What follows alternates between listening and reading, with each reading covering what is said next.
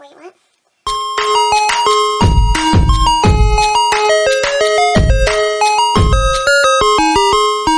Hello everyone, it's your girl Jay and today I'm here with my November wrap up for 2019. I read a total of six books this month, which is not my best month, but November has not been the best month for me. So moving on, without further ado, let us get started.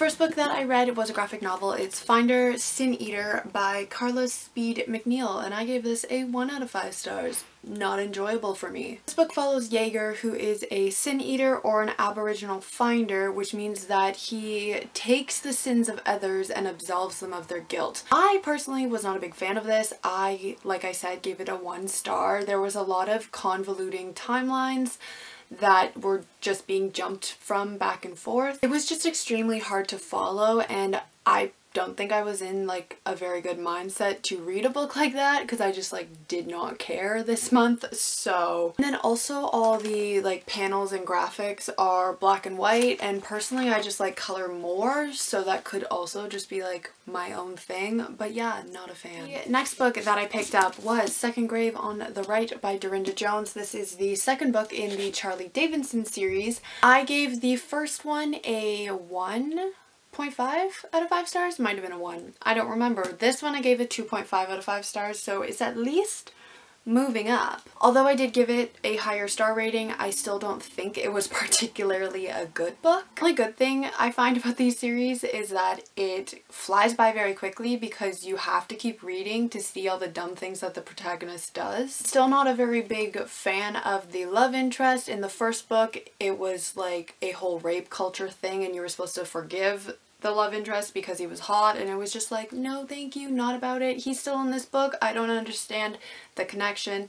Not a fan. But like I said in my previous wrap up I'm going to continue with the series because I have the first four so might as well not let them go to waste and they're really quick reads so why not? Which leads me on to the third book that I read which is the third book in the Charlie Davidson series. This is Third Grave Dead Ahead also by Darynda Jones. I gave this a 2 out of 5 stars so it went downhill from the last book. I mean, it's the same as the other two books. Like, they're not good books, they just fly by very quickly. But I did like the ending in this one, so again, I will be picking up the fourth book because I have it, but after that, probably will not be continuing on with it. And then the fourth book that I picked up is a graphic novel. It is Heavy Vinyl by Carly Usdin and I gave this a 4 out of 5 stars. I actually really enjoyed this one. This follows Chris who starts her dream job at a vinyl store called Heavy Vinyl and she never expected to be part of a girl fighting club and when the singer of her favorite band goes missing she has to work with her co-workers in order to find her. I actually really liked this one like I said. I think that the cast of characters were very diverse and a lot of fun. I also think that the facial expressions that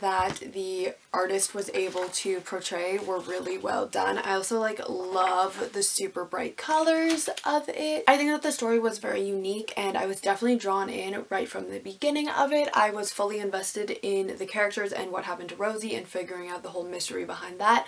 I'm definitely excited to pick up the volume 2. I think that is already released, but I honestly have no idea, but I did really enjoy this one. The next book that I picked up was Ninth House by Leigh Bardugo. I ended up giving this a 4.5 out of 5 stars. This book follows Galaxy or Alex Stern, who after being the sole survivor of an unsolved homicide, she is given a second chance at. She's been offered a full ride scholarship to Yale in exchange for her help in keeping the nine societies at Yale in check. This is actually my first Leigh Bardugo book and it is a lot darker than I originally thought it was when I first picked up my arc. There are definitely a lot of trigger warnings that you should be aware of going in. Some are rape, physical abuse, sexual assault, drug use, that kind of thing. I honestly think that I enjoyed this a lot more than other people because it was my first Leigh Bardugo book. I had zero expectations going into it so I feel like I was able to enjoy it a lot more than